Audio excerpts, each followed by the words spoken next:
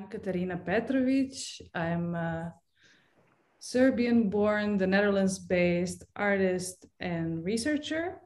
How, how do you translate a, a, a sensorial experience to another person? How do you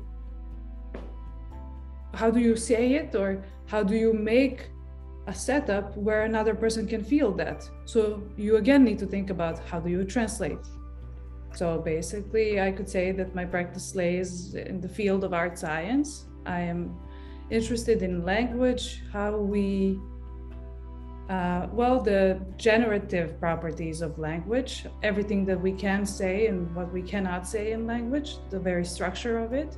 So I work a lot with concepts such as uh, nothing or zero or infinity and on the other hand, I'm interested in the physical processes that come close to these concepts, such as vacuum or perfect vacuum or um, or quantum fluctuations or electromagnetic radiation and a lot of other processes. And yeah it's a very modern idea to think that things speak to us that we can go and hear what a plant is saying or what uh, electromagnetic radiation from Jupiter is saying or or you name it. And so it is quite a human-centered idea that things speak. And this is kind of the paradox that I'm playing with. So could quantum fluctuations and particle motions be translated into human language? And in effect, that's what we're trying to do when we're creating mathematical formulas. It's just a different language. So I'm thinking if we can do it in mathematics, why are we not trying to have universe write poetry instead? I think it's really important that you have a feeling that you're playing and that you don't have a feeling like you're making something really important because then you never make anything.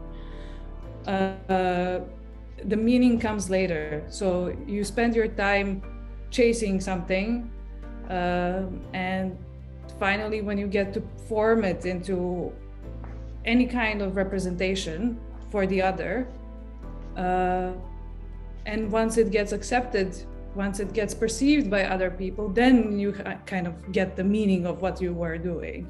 You, you might, after a while, if you do this for a long time, you will start having the sense of meaning in your work while you're doing the work that's not how you begin. Uh, start feeling stuck when I take science too seriously. That's when I start feeling stuck. The, the fact that there is this embedded idea that there can be a key to the universe, no? And many scientists ha- have made remarkable discoveries with this axiom uh, in their mind. But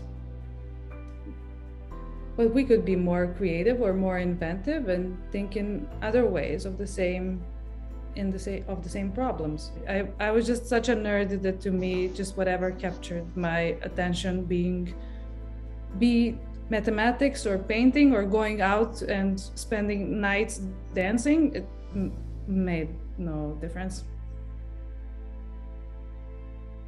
So i did it all